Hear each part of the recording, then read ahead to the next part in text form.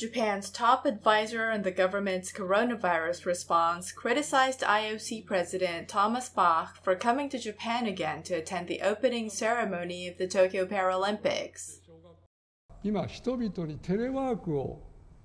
あの要請しているわけですよね。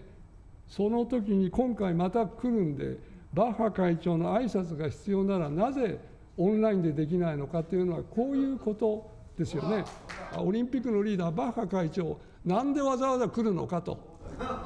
銀座も一回行ったんでしょうと、私は専門家の会議のというよりも、一般庶民としてそう思います。